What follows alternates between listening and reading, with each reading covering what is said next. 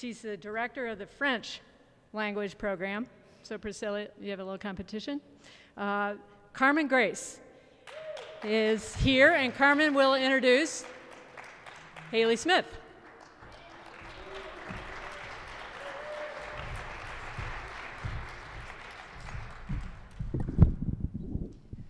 Bonjour.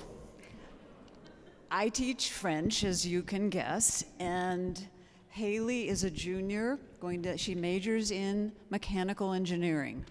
Perfect match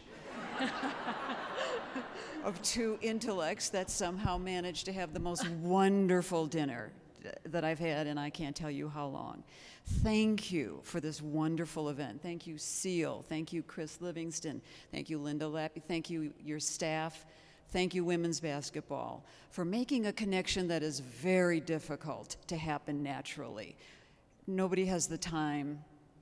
You, you made the time for us, and, and we've enjoyed it tremendously.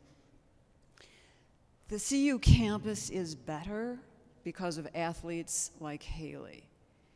She gives it her all in the most modest and unassuming of ways. When I asked her what was the very best part of basketball, she thought for the longest time and said, It's my teammates, it's my coaches, it's this fabulous sport I play that teaches me the most important lessons of life. They're not necessarily easy ones, but they're the most, they're the most valuable.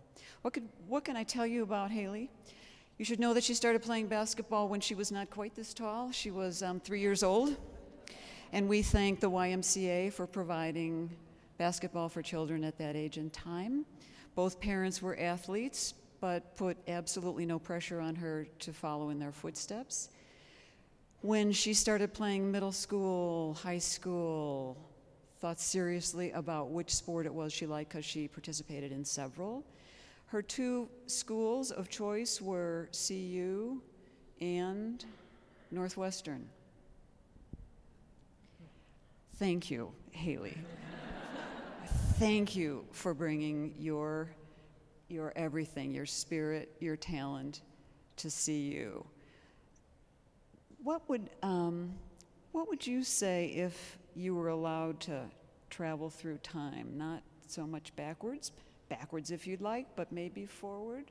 Mm-hmm. Would you choose to go back? Is there somewhere you'd like to visit? Someone you'd like to visit? What time frame would you visit, Haley? Mm-hmm. And uh, whom would you visit? Well, so I thought about this question for a little bit, um, and we were talking kind of, you know, about kind of her experience and her husband's experience, um, talking about, you know, ancient cultures and things like that. And so I was like, maybe the past, like maybe I'd go to like ancient Greece or something like that. And then I thought more about it, and I was like, you know, kind of being an engineer um, and working a lot with, you know, kind of thinking of the new, the next best thing, the new invention, things like that.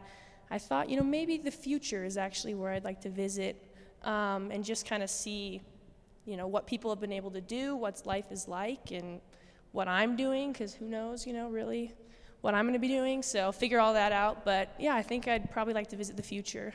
Yeah. Um, but I really wanted to thank you so much for coming out and spending the evening with us and getting to know you. It was a lot of fun. My pleasure. This yeah. beats the heck out of speed dating, I gotta say.